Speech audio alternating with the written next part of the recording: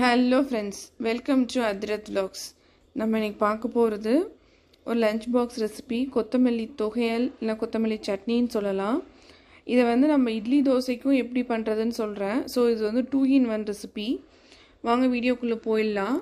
First இதுக்கு தேவையான பொருள் என்னென்னா நல்லா ஒரு அரைக்கட்டு கொத்தமல்லி வாங்கிட்டு அது நல்லா க்ளீன் பண்ணி கழுவி தண்ணி இல்லாமல் நான் எடுத்து வச்சுக்கிட்டேன். ஸோ இந்த தண்டோடு எடுத்து வச்சுக்கோங்க. தண் நம்ம ஏன்னா அரைக்க போகிறதுனால அந்த தண்டில் இருக்க சத்தும் நம்மளுக்கு கிடைக்கும். அப்புறம் கொஞ்சம் ஜீரகம் ரெண்டு காஞ்ச மிளகா அப்புறம் புளி நல்லா ஊற வச்சு அந்த தொக்கு அந்த புளி தொக்கோடு எடுத்து வச்சுக்கோங்க. அப்புறம் அரை கப்பு வந்து தேங்காய்.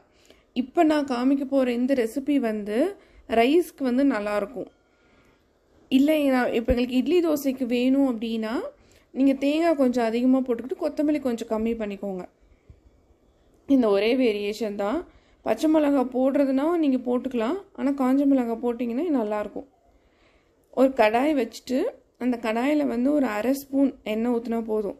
சும்மா இதெல்லாம் வந்து வதக்கிறதுக்கு தான் இந்த எண்ணெய். ஸோ அந்த எண்ணெய் காஞ்சதுக்கப்புறம் நம்ம எடுத்து வச்சு ஜீரகத்தை போட்டுடலாம். அந்த ஜீரகம் வந்து நல்லா பொரியட்டும்.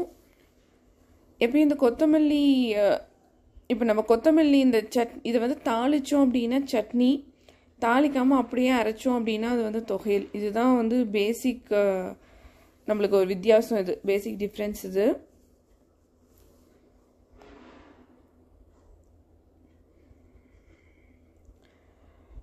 ஸோ நம்ம இந்த மாதிரி நம்ம செஞ்சு கொடுத்தோன்னா அந்த லஞ்ச் பாக்ஸ்க்கும் நம்மளுக்கு நல்லாயிருக்கும் குழந்தைங்களும் வந்து சாப்பிட்ருவாங்க கொத்தமல்லியில் நம்மளுக்கு நிறைய மருத்துவ குணங்கள் இருக்குது இப்போ இது கொஞ்சம் பசியும் இது வந்து நல்லா எடுக்கும். இப்போ நான் இந்த கொத்தமல்லி போட்டுட்டேன் காஞ்ச மிளகாய் போட்டுட்டேன். இதை வந்து நம்ம அந்த ஊற்றின எண்ணெயில் வந்து வதக்கி எடுக்க வேண்டியதான் நம்ம எப்படி கீரையெல்லாம் வதக்குனா நல்லா சுருங்கி வரும் அந்த மாதிரி இது கொஞ்சம் நல்லா சுருங்கி வரணும். இதிலே வந்து இன்னொரு வேரியேஷன் இருக்குது அது வந்து எல்லாத்துக்கும் தெரிஞ்சது தான் நம்ம எப்படி புதினா துவையல் செஞ்சோம் கொத்தமல்லியும் அதே மாதிரி நம்ம செய்யலாம். பச்சைக்கடலை பருப்பு உளுத்தம்பருப்பு அதெல்லாம் சேர்த்து அந்த மாதிரியும் சட்னி அரைக்கலாம். இது வந்து ரொம்ப சிம்பிளான ரெசிபி. உங்களுக்கு செய்யறதுக்கு ஒரு அஞ்சு நிமிஷம் கூட ஆகாது. இது உங்களுக்கு தேங்காய் கொஞ்சம் அதிகமாக வச்சிட்டிங்க அப்படின்னா இப்போ நீங்கள் காலையில் நீங்கள் ஆஃபீஸ் போகணும் ஸ்கூலுக்கு எல்லாம் பேக் பண்ணணுன்னா இந்த மாதிரி வச்சிட்டிங்கன்னா காலையில் நீங்கள் இட்லி தோசைக்கு இதை சாப்பிட்டுட்டு ரைஸ் வந்து இதை கொத்தமல்லி ரைஸாக நம்ம வந்து மதியத்துக்கு பேக் பண்ணிக்கலாம். ஸோ இப்போ தேங்காய் போடுறோன்னு கேட்பீங்க நீங்கள் அதனால தான் நம்ம தேங்காய் வந்து போட்டு அது ஒரு டைம் வந்து நல்லா கொஞ்சம் வதக்கிடுறோம்.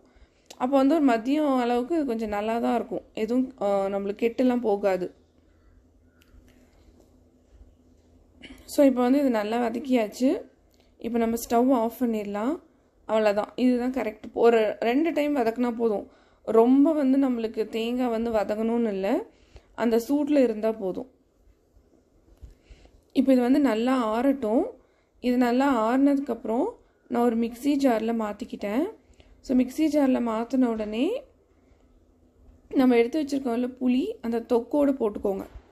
அப்போ தான் வந்து நல்லாயிருக்கும் இந்த மாதிரி துவையல் சட்னி இந்த மாதிரி ரெசிபிக்கெலாம் கொஞ்சம் காரம் புளிப்பு இதெல்லாம் அதிகமாக இருந்தால் தான் நல்லாயிருக்கும் நெக்ஸ்ட் இதுக்கு தேவையான அளவுக்கு உப்பு போட்டுக்கிட்டேன். அவ்வளோதான் இவ்வளோதாங்க நம்ம சட்னிக்கு தேவையான பொருள். இப்போ இதை நம்ம போய் அரைச்சி எடுத்துகிட்டு வந்துடலாம்.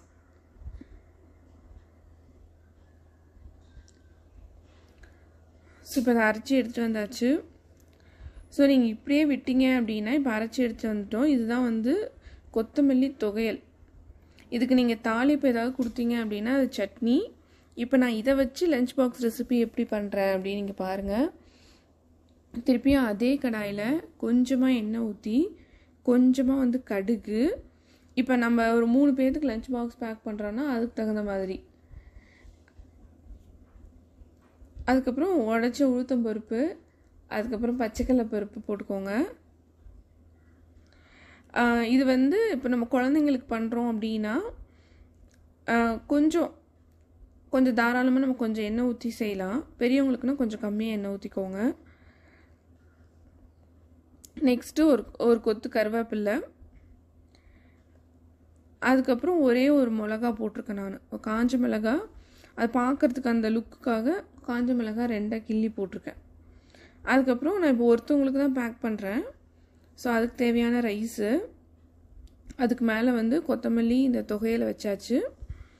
இப்போ இதை வந்து நம்ம ஸ்டிம்மில் வச்சுட்டு கலந்துட்டு நம்ம ஸ்டவ் ஆஃப் பண்ணிட வேண்டிதான் இப்போ நான் நல்லா கலந்துட்டேன்.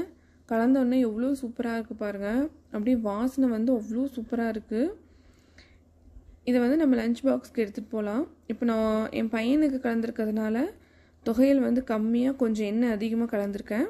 பெரியவங்களுக்குன்னா அதுக்கு தகுந்த மாதிரி நீங்கள் கலந்துக்கலாம். தேங்க்யூ